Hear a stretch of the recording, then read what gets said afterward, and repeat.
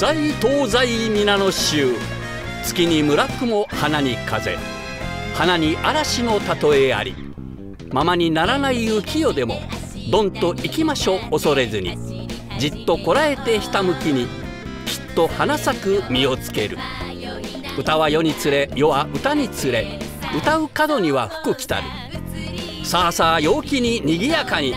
演歌ジャックス始まり始まり。こんにちは。さあ今週も演歌ジャックスのお時間がやってまいりました。1月がいってまうでまうでもうすぐ2月やでみたいなもうそあそういってまうでー。2月やで でも気持ち上げていかないとね。そうやね上げていこう上げていこういこういこう。本当にでもほなさんがこ去年の年末ぐらいからこうどっしりとこう重たい雰囲気がある。んですけどあそうねそれ体重のせいかうな。大丈夫せいやと思います。一時ねちょっと細くなってはったよね。でしょ？なんですやっぱ痩せますけどね。まあでもいいんじゃないですか黄色すいからありがとうございます。はい。のということで。かっこよく気合を入れて、はい。い、今週も内容を盛りだくさんにお届けしてまいります。ゲストは。秋岡修二さんです。お楽しみに。この番組はご覧の各社の提供でお送りします。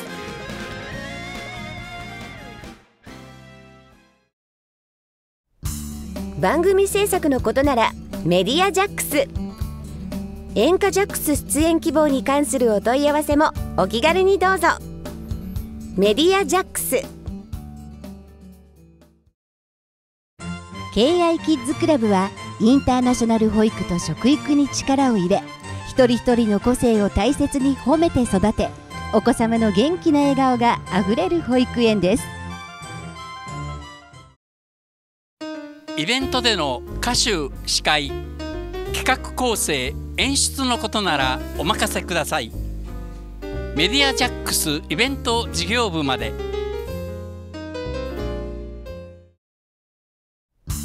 番組制作のことならメディアジャックス。演歌ジャックス出演希望に関するお問い合わせもお気軽にどうぞ。メディアジャックス。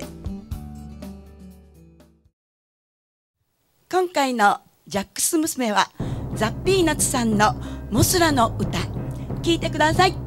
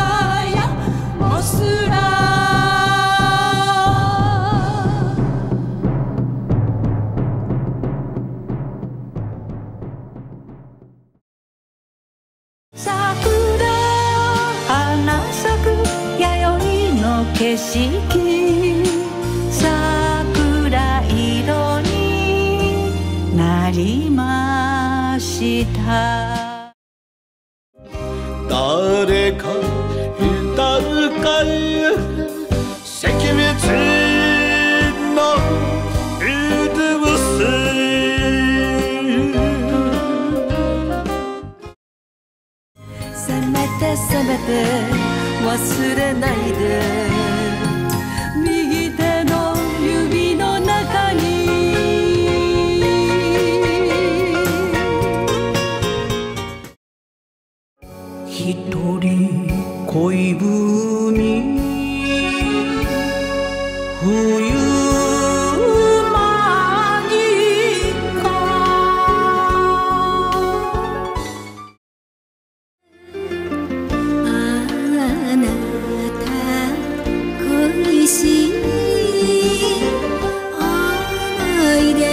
しぐれ長生忠之昭和歌謡裕次郎を歌う。さあやってまいりました。長生忠之さん、はい。そして奥様で女優の藤川真知子さんです。よろしくお願いいたします。よろしくお願いいたします。さあ長生さん、はいはい。今週は？えっ、とね、えー昭和53年の歌ではい。ちょうど裕次郎が昭和30年代の日活映画の青春時代を過ごした心情を元にした、えー歌で、まあ、青春挽歌というんですか。それともう一つ言えるのはこのあのタイトルに最もふさわしい、あの歌ではないかなと思います。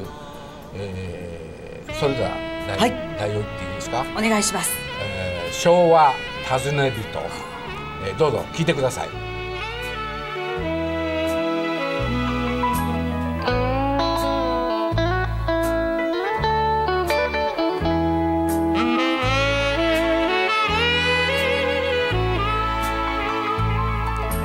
男と女の付き合いは燃えたら終わりがすぐに来る一晩限りで灰になり風に消えるもいいだろう。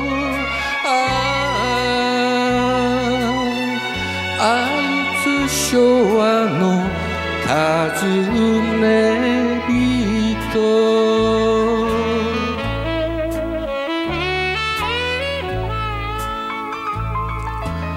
男と酒場の付き合いは昨日と明日の曲がり角夢をう季節は酔いしれて枯れる季節は酔いどれる。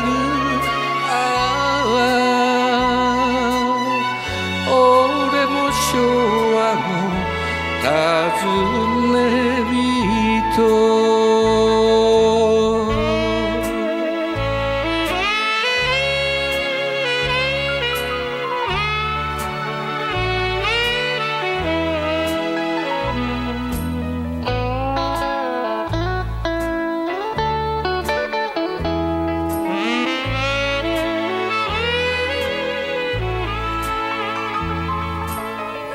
男と男の付き合いは学生時代のままでゆく夢を季節に胸焦がす遠い時代のままでゆくあ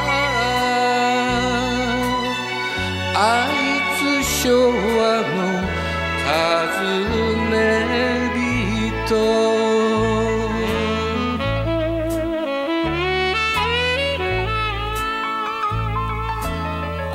心と心の付き合いは結んでほどいてまた結ぶ。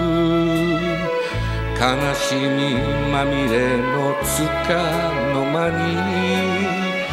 見える眩しい青空さあ。あ昭和の尋ね人。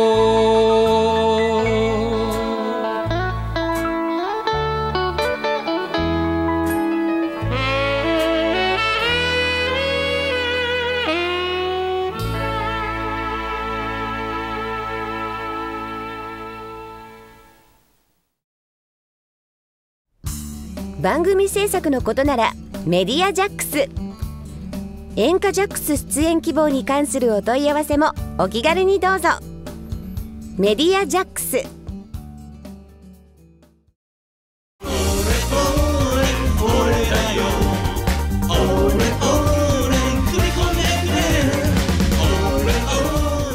土地建物マンションお電話ください。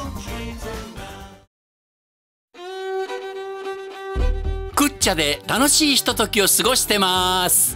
阪急池田駅徒歩2分。今日も行かなくっちゃ。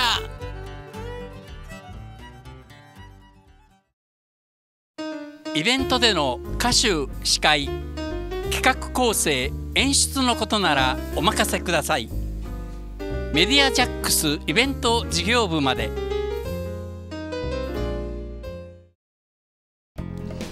お二人にお伺いしたいのは、お好きな鍋を教えてください。お鍋。僕あのなんかスーパーで赤鍋って売ってるんですよこの、はい。赤鍋の素で。ええ結構あのホルモンとか豚とか入れたら美味しい。あ赤鍋ってまあもともとベースはお味噌とか。えあのちょっと韓国風なんかなちょっとあ赤いやつ。なるほどなるほど。あの辛い感じの唐辛子の赤の。そうそうそう。でもそんな辛くなく辛いなん15倍か25倍ってめちゃくちゃ辛いけど、あの3倍5倍はそんな程よい辛さ。なんか今言っていただいたから面白くないかもしれないけど私もキムチとかチゲ鍋とかああなるほど。ああいうふうな辛いのが大好き。ーやっぱり温まりたい気持ちっていうのがあるんですかね。僕辛いのは苦手なんですよ。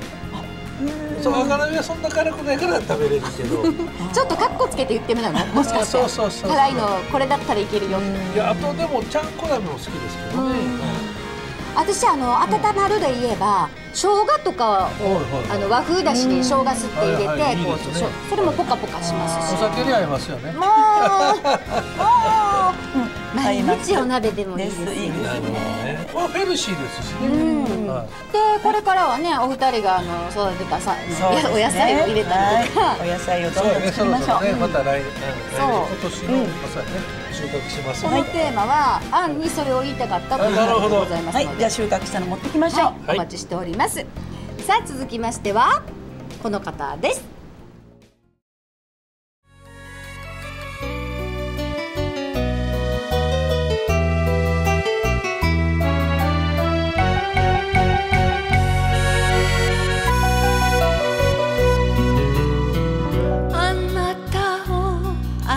して見放され心の隙間を知りました。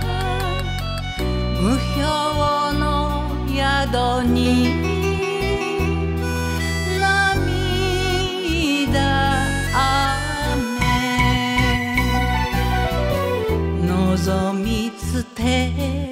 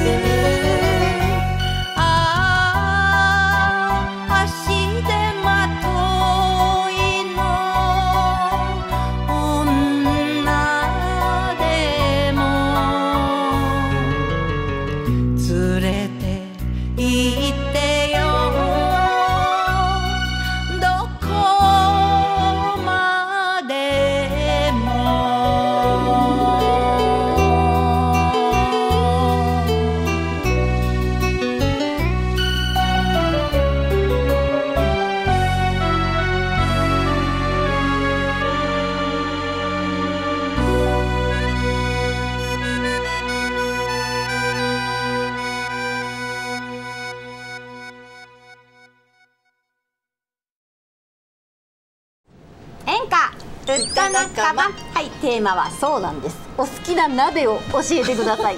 鍋ですはい。はいマリです。えー、お鍋大好きなんですよ。もう夏でも冬でも関係なく、はい私の好きなのは、えー、地鶏鍋。はい好ききですね。あの弾力がいいですよね地鶏ってね。そうですそうです。ね、もう何でもお鍋だと好きです。いいお出汁出るし。はいそうですね、柴さんは？私はねあの鍋どの鍋ってあんまりこだわらないですけども、要はおじやができたらいいああ、締めの。そうそうそうそう。そうあお野菜あんまり得意じゃなかったですよね。そしたらおじやの締めまでずっと待ってる感じで、はいそうです。そっちの方が主にはい。締め担当で、なるほど。はいとところでマリさん、今日なんかイメージが？そうなんです。あの実はですね、えー、あの寺瀬天さん大好きなんですけど、寺瀬天さんの香港を私歌いたいんですけれどもねあの上海にいる友人が、香港を歌うんだったら、ということでプレゼントしてくださったんです。香港あ上海から直接送ってくださったんです、すごいすごい。て香港歌ってねってスケール感のあるお話。素敵やわ。ありがとうございます。はいかしこまりました、えーそれでは今週はそんなマリさんの歌声で、まずはテレサ・ティンさんから、香港か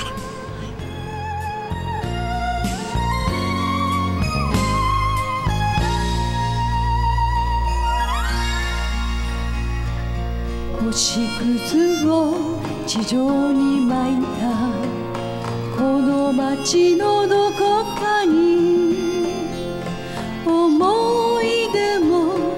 悲しみさえも今は眠っている。この広い地球の上で暮らしてる人たち。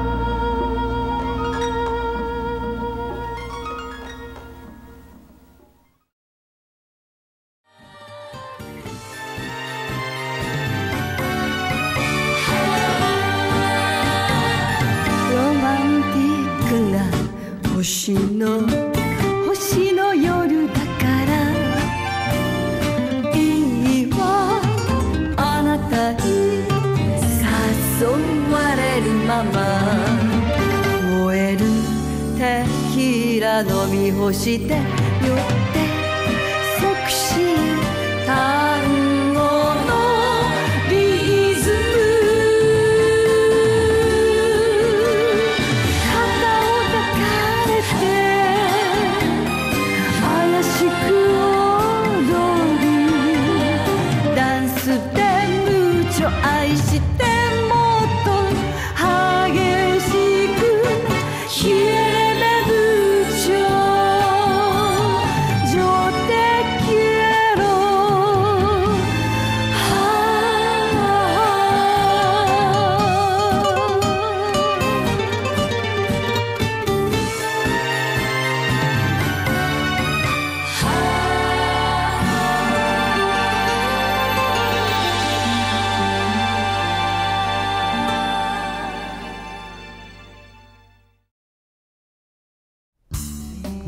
制作のことならメディアジャックス。演歌ジャックス出演希望に関するお問い合わせもお気軽にどうぞ。メディアジャックス。KI キッズクラブはインターナショナル保育と食育に力を入れ一人一人の個性を大切に褒めて育てお子様の元気な笑顔があふれる保育園です。イベントでの歌手司会企画構成演出のことならお任せください。メディアジャックスイベント事業部まで。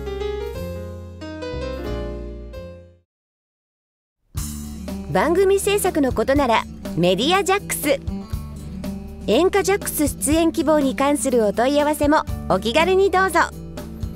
メディアジャックスゲストコーナーです。今週のお客様も。秋岡修二さんです。どうぞよろしくお願いします。お願いします。洋装の秋岡修二さんでございます。ですねちょっと珍しいですね。かっこいいです。こんな感じです。社長。社長じゃないですけど。秋岡さん、はい。今日なんかものすごい車でいらっしゃってなかったですか？そう僕ね今キャンピングカーで全国をずっとキャンペーンしてます。すごいなちょえ寝泊まりできるってことですか？もちろんです、えー？トイレもついてます。はあ。シャワーもついてます。ベッドもついてます。キッチンもついてます。だからあのもう動く楽屋。だからもう着物に着替える場所をあのいちいちお願いして用意してもらわなくてもキャンペーン行った先でもえー車の中でもう支度して着物を着てパッと降りていけば歌えると。いい。そんな風にしてあります。高いよ。ちょっとねみたいな。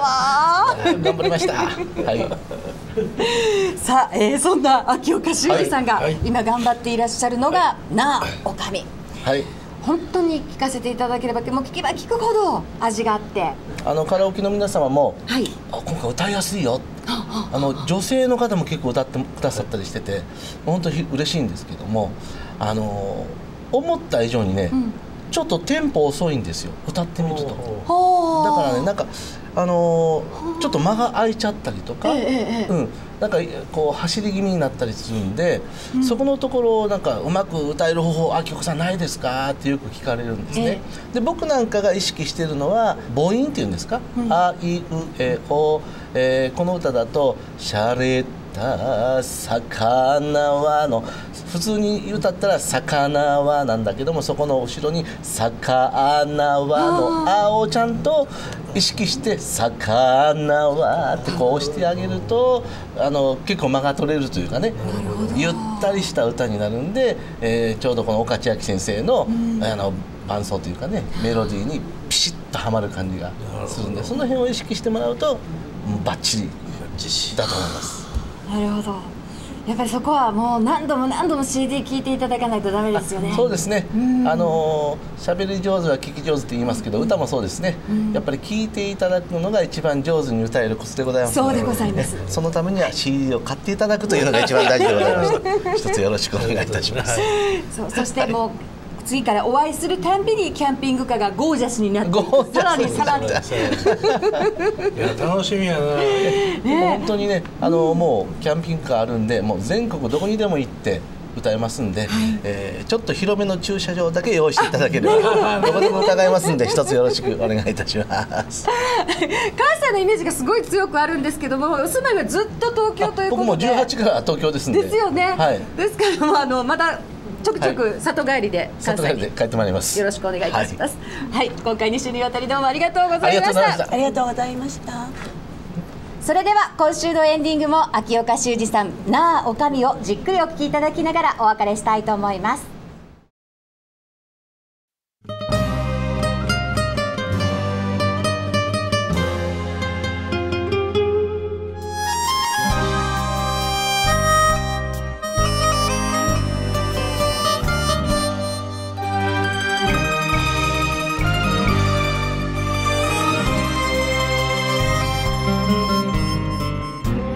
しゃれた魚はなくていい二号どっくりで食いとやる。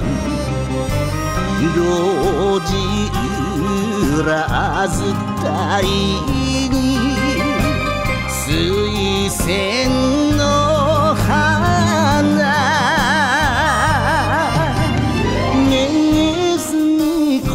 年も咲いたとか。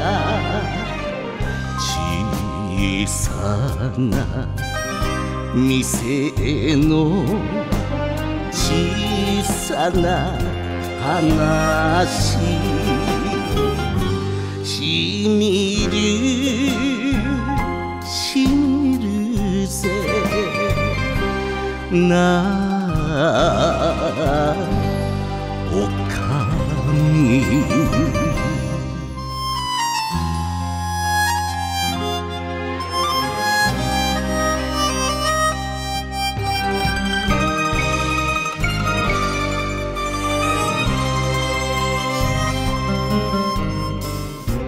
黒をこぼして何になる？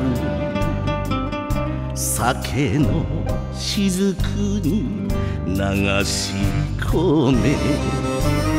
ほのかな香りの水仙の花。おかみに似てると言い出せず。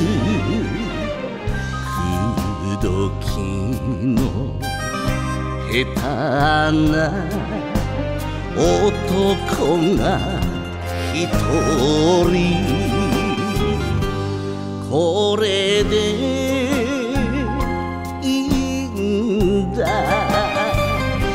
なあおかみ。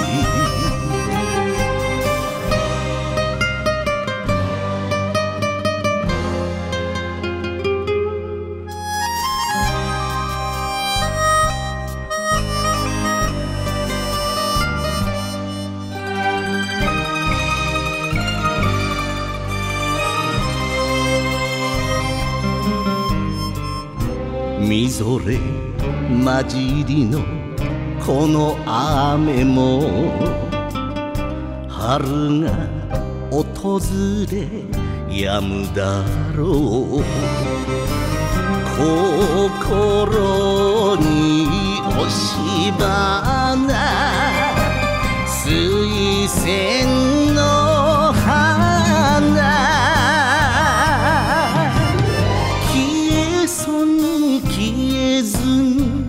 に抱いてきた。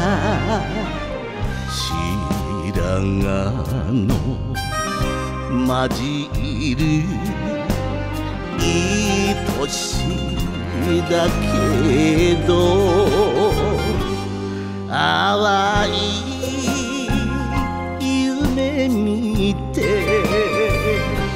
なあおかみ